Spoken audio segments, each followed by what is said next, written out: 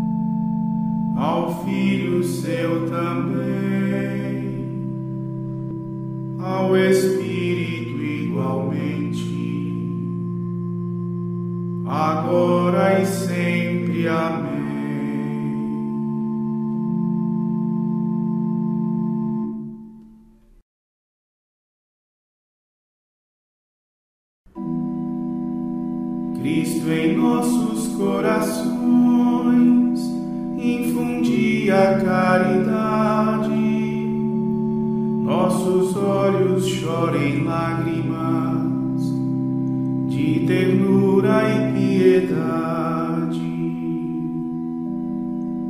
Para vós, Jesus piedoso, nossa ardente prece erguemos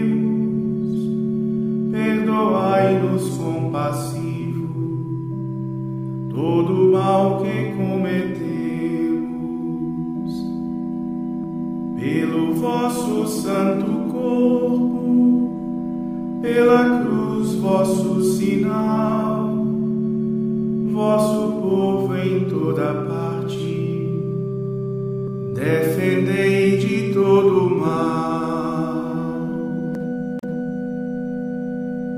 A vós, Cristo, Rei clemente,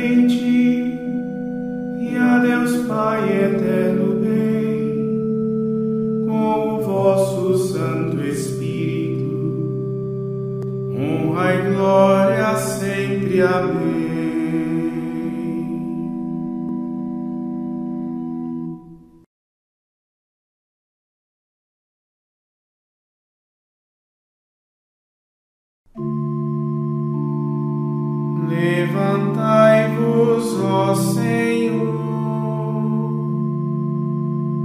vinde logo em meu socorro.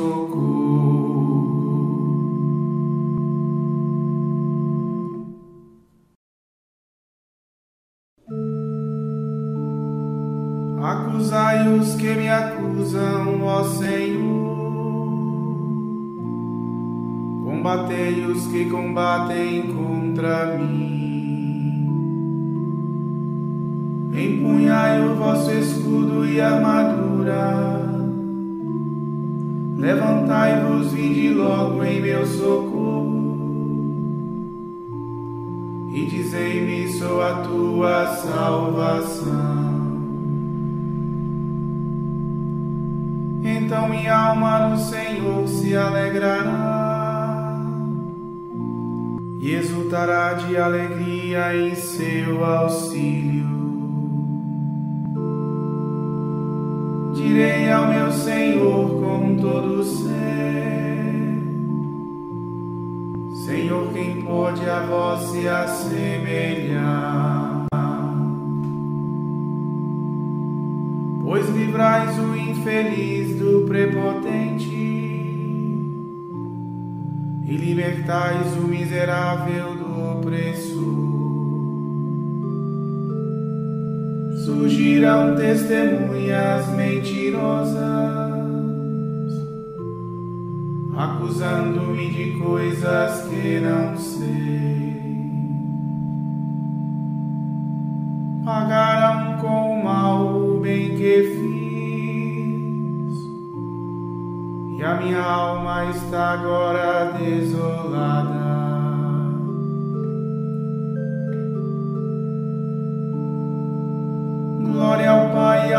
Filho e ao Espírito Santo, como era no princípio, agora e sempre. Amém.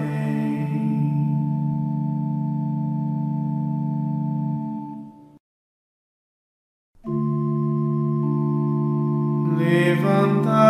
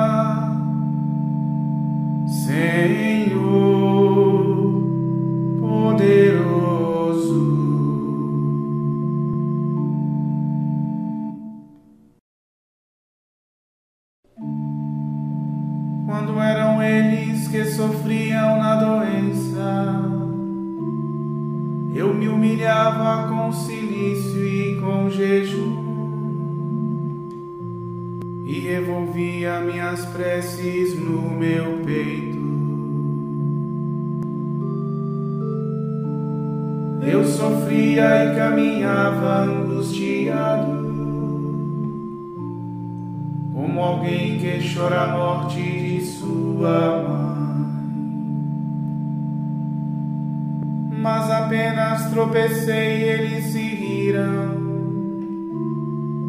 como feras se juntaram contra mim e me morderam sem que eu saiba seus motivos. Eles me tentam com blasfêmias e sarcasmos se voltam contra mim rangendo os dentes.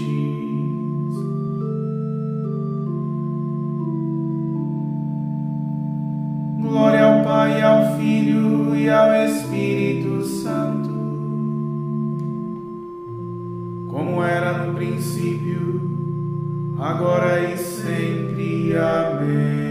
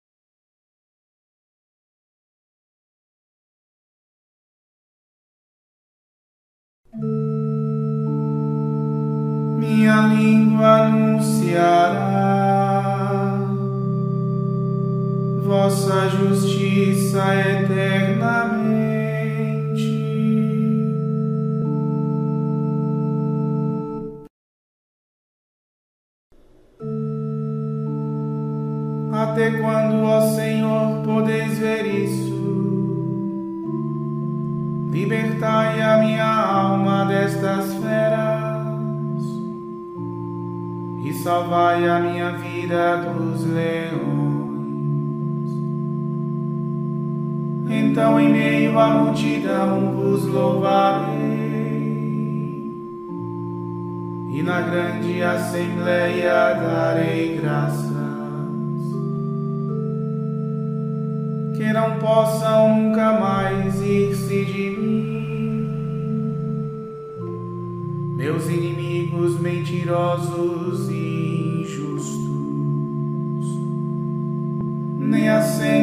seus olhos com maldade. Aqueles que me odeiam sem motivo. Vós bem vistes, ó Senhor, não vos caleis. Não fiqueis longe de mim, ó meu Senhor.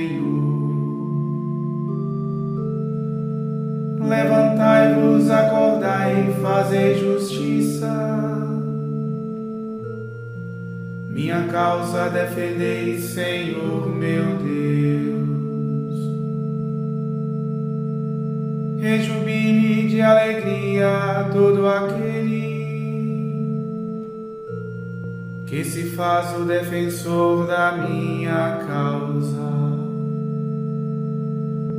e possa dizer sempre: Deus é grande. Ele deseja todo bem para o seu servo.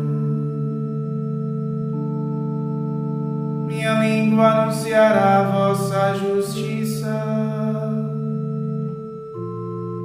Cantarei vosso louvor eternamente.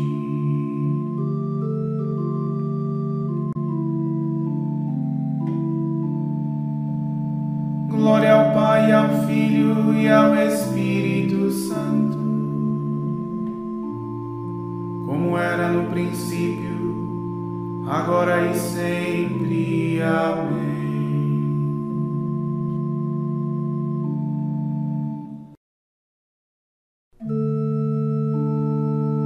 Minha língua anunciará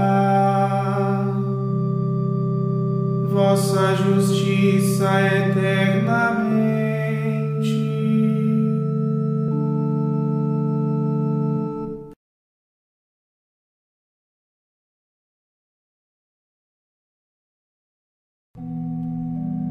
Voltai ao Senhor vosso Deus, Ele é bom, compassivo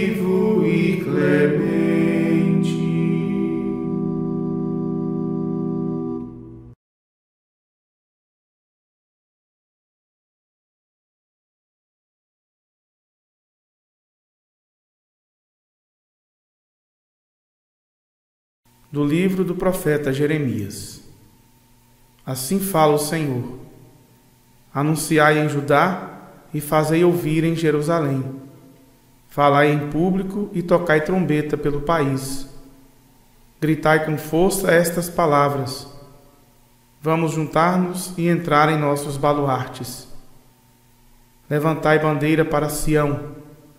Ponde-vos a salvo, não fiqueis parados pois estou para trazer do norte o mal, uma calamidade enorme. Já se levantou do covil o leão, levantou-se o predador das nações, saiu de sua terra para transformar a tua terra em deserto. As cidades serão devastadas e ficarão sem habitantes. Por isso vesti sacos, chorai e gritai, pois não se afastou de nós a cólera do Senhor Eis que ele vem como uma nuvem, e seus carros correm como a tempestade. Seus cavalos são mais velozes que águias. Pobres de nós, estamos arrasados. Lava a maldade do teu coração, para salvar-te, Jerusalém. Até quando abrigarás em ti pensamentos malvados? Vem de Dão uma voz que anuncia, e revela desde o monte Efraim a calamidade anunciai aos povos, eles acorrem ao apelo. Fazei ouvir tudo isto a Jerusalém. Estão chegando de terras distantes tropas de vanguarda e começam a dar ordens à cidade de Judá. Agem como cães de guarda ao redor dela, ela que tanto se obstinava contra mim, diz o Senhor. Tua conduta e tuas obras atraíram estes males sobre ti. É este o fruto amargo de tua maldade e que se faz sentir no teu coração. Ai as minhas vísceras, ai as minhas vísceras, de dor me contorço, e o íntimo do meu coração, treme o coração dentro de mim, não posso calar. Minha alma ouviu a voz da trombeta e o fragor da batalha. Sucede um desastre a outro desastre. Toda a terra foi devastada minhas barracas e minhas tendas foram derrubadas no momento. Até quando verei ainda a nossa bandeira e ouvirei o som das trombetas? Meu povo, porque é estuto, não me conheceu. Seus filhos são insensatos e maus. São espertos para fazer o mal, mas não sabem praticar o bem. Olhei para a terra, achei-a vazia e deserta. Para os céus estavam sem luz. Olhei para os montes e eles se moviam, e todas as colinas estremeciam. Olhei e notei que não havia seres humanos, e as aves do céu tinham fugido. Olhei e vi o jardim feito deserto, e todas as cidades que foram destruídas, na presença do Senhor diante de sua ira. Isto diz o Senhor: o país ficará deserto, mas não lhe darei fim a terra há de chorar esse destino, e lá em cima os céus se lutarão, porque falei, decretei e não me arrependo, nem voltarei atrás.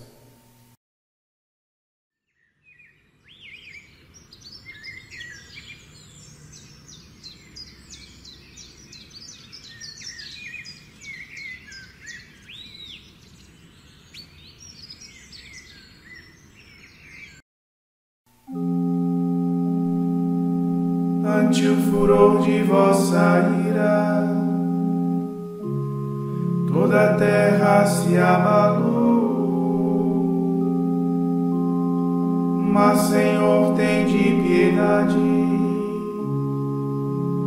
e não chegueis ao extermínio. Renovai-nos, nosso Deus e Salvador esquecei a vossa mágoa contra nós. Mas, Senhor, tem de piedade e não chegueis ao extermínio.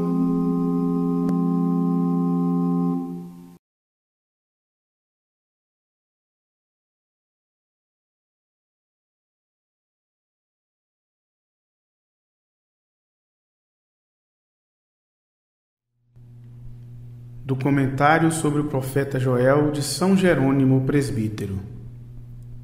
Convertei-vos a mim de todo o vosso coração e mostrai o arrependimento do espírito por jejuns, lágrimas e gemidos, para que, jejuando agora, vos sacieis mais tarde, chorando agora, riais depois, gemendo agora, sejais depois consolados. É costume, nas tristezas e adversidades, rasgar as vestes. Isso fez o sumo pontífice para aumentar a acusação contra o Senhor Salvador, segundo conta o Evangelho, e fizeram Paulo e Barnabé ao ouvir as palavras de blasfêmia. Assim eu vos ordeno: não rasgueis as vestimentas, mas os corações que estão cheios de pecado, porque quais odres, se não forem rasgados, se romperão por si mesmos. Tendo assim agido, voltai ao Senhor nosso Deus, a quem vossos pecados anteriores vos fizeram afastar-vos. Não desespereis do perdão pela gravidade das culpas, pois grande misericórdia apagará grandes pecados. Pois ele é benigno e misericordioso, preferindo a penitência dos pecadores à morte, paciente, de imensa misericórdia, que não imita a impaciência humana mas espera por longo tempo nossa conversão condescendente ou arrependida do mal que intentara. Se fizermos penitência dos pecados, ele se arrependerá de suas ameaças e não nos fará vir os males que prometeu. Com a mudança de nosso intento, também ele mudará. Não devemos entender aqui mal como contrário à virtude, e sim como aflição, conforme lemos em outro passo. Basta cada dia seu mal, e se houver na cidade mal que o Senhor não tenha enviado. Da mesma forma, por ter dito acima ser benigno e misericordioso, paciente e de imensa misericórdia, condescendente ou arrependido do mal, para que talvez a grande clemência não nos torne negligentes, acrescenta por intermédio do profeta. Quem sabe se não voltará atrás e perdoará, e deixará após si uma bênção? Eu, diz ele, exorto à penitência, pois é o meu dever e sei que Deus é indizivelmente clemente. Testemunha é Davi. Tem piedade de mim, ó Deus, segundo a tua grande misericórdia e segundo a multidão de tua compaixão, apaga minha iniquidade. Como, porém, não podemos conhecer a profundidade das riquezas, da sabedoria e da ciência de Deus, amenizo a afirmação e prefiro desejar a presumir, dizendo: Quem sabe se não voltará atrás e perdoará? Dizendo quem sabe quer significar ser impossível ou difícil. Sacrifício e libação ao Senhor nosso Deus depois de ter nos dado a bênção e perdoado nossos pecados, somos capazes de oferecer hóstias ao Senhor.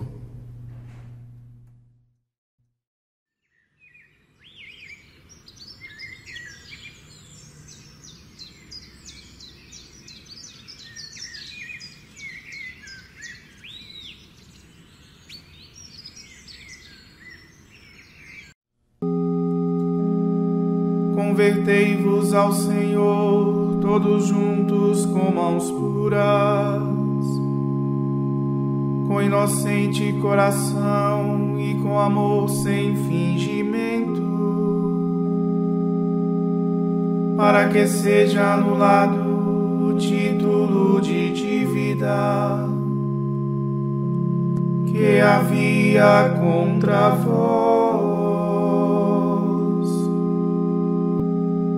rasgai os vossos corações, não as vossas vestimentas. Convertei-vos ao Senhor, ao Senhor o vosso Deus, para que seja anulado o título de dívida que havia contra vós.